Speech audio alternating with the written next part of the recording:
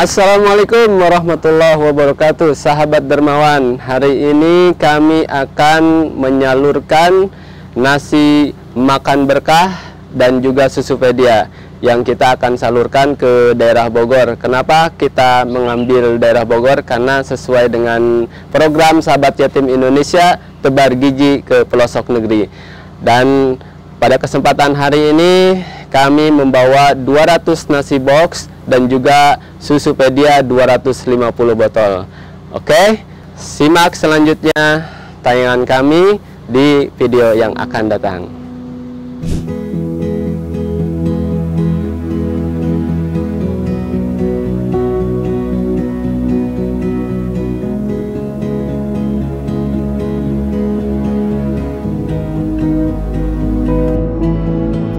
Alhamdulillah sahabat. Saat ini kita telah tiba di tepatnya di daerah Bogor oh, Kampung Kutilang. Kenapa alasan kami untuk menyalurkan di sini? Tentunya dengan pertimbangan di sini adalah masyarakat yang memang lebih membutuhkan.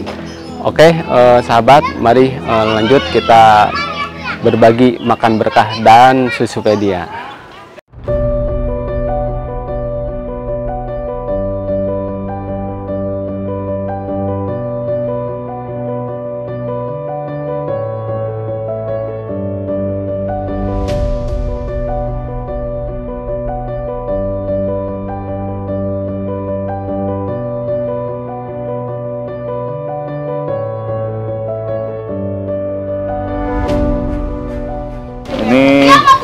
kegiatan yang bagus ya maksudnya memberi apa eh, makanan minuman ya susu pada eh, apa sih setiap orang gitu ya. Ini hmm. termasuk bagus banget gitu kegiatannya gitu. Alhamdulillah. Alhamdulillahnya. Alhamdulillah katampi. Katampi pisan mohon katampi pisan.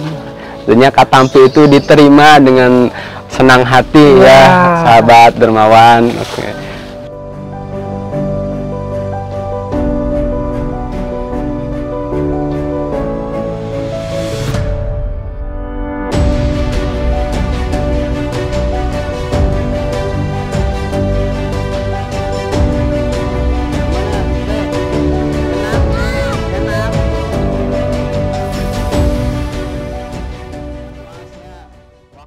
Mungkin ada sepatah dua patah Bapak yang mungkin mau diucapkan ungkapan terima kasih kepada para sahabat dermawan. Nah, gitulah.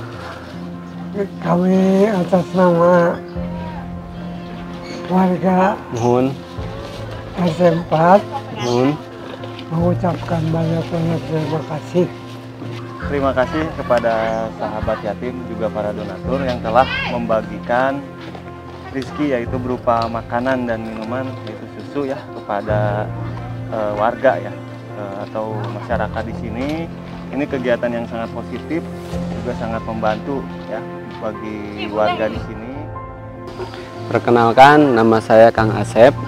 Uh, saya di sini bertugas uh, di divisi pemberdayaan yang berkaitan dengan penyaluran gizi yang merupakan program dari Sahabat Yatim Indonesia Tebar Gizi ke pelosok negeri.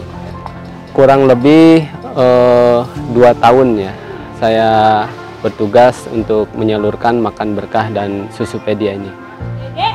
Lokasi yang pernah saya lakukan itu terutama yang menjadi kegiatan reguler itu adalah Jakarta, Bogor, Bekasi, Tangerang dan juga ada kegiatan-kegiatan ke tempat-tempat bencana seperti kemarin kita terjadi bencana di Semeru itu yang yang kita lakukan di sana berbagi makan berkah.